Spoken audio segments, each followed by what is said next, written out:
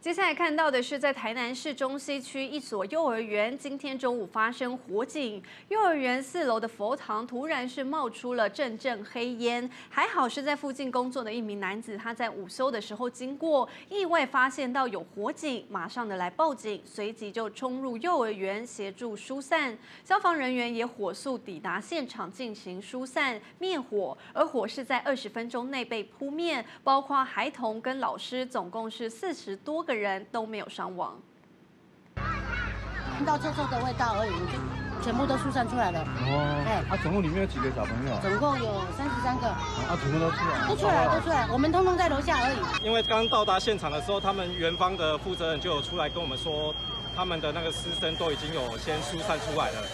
哦，所以说我们在到达的时候就比较没有这个人命受困的疑虑。火警意外发生在中午，幼儿园的孩童用过餐之后，正准备要午休，但是四楼的佛堂突然就窜出黑烟。一名男子看到真物之后，赶紧来报警，而住在附近的家长也吓得赶快到幼儿园来关心自己的孩子。消防局初步研判是四楼的佛堂电线起火，但是详细的原因仍然有待调查。